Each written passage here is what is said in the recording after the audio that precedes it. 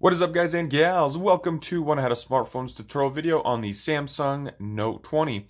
In this video I'll be showing us how to do a screenshot and before I get to the screenshot I just want to go into my gallery and show you guys that I currently have no pictures, nothing in here. Um, so um, in order to do a screenshot, let's say you're browsing the web and you run into something that you really like, you're like, hey, I need to save this information. What you're going to be using is the side button over here. There is the volume down button and the the power button. We're going to hit those simultaneously. Just like that, a quick press and hold. And as you guys were able to see, there was a flash on the screen and this little toolbar popped up on the bottom letting us know that we made a screenshot.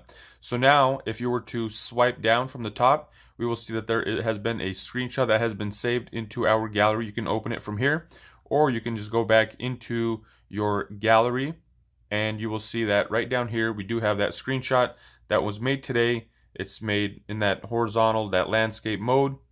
Um, just like that, it is saved.